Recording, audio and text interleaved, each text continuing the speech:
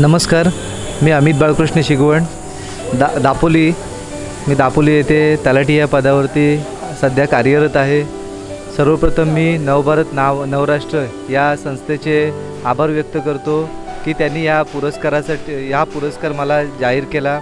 माझा आज सत्कार करणार आहेत त्याबद्दल मी त्यांना धन्यवाद देतो. तरच हा पुरस्कार मी माझ्या आईला हे करतो. थोडक्यात सांगायचं म्हणजे मी हरणे सध्या हरणे या सजावरती कार्यरत आहे. दोन हजार वीस साली हरणेमध्ये मोठ्या असा निसर्ग वादळाचा तडाखा लागला होता. त्यामध्ये माझ्याकडे नऊ गावं होती.